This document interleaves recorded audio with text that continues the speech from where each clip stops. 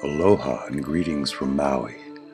Many of you have contacted me with a wide variety of questions, wanting to know more about how I do what I do in the videos.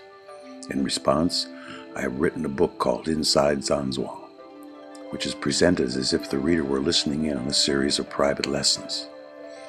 The book is like an encyclopedia on standing meditation and its relationship to martial arts and Tai Chi, health and healing, and even expanding consciousness. On the martial arts and Tai Chi side, besides a fresh look at the basics, there are a number of detailed explanations of such things as Zhan Zhuang's relationship to Fa Jing, postures that help create real martial power, and techniques that will actually grow your practice by leaps and bounds, including a step by step breakdown of spherical Fa Jing.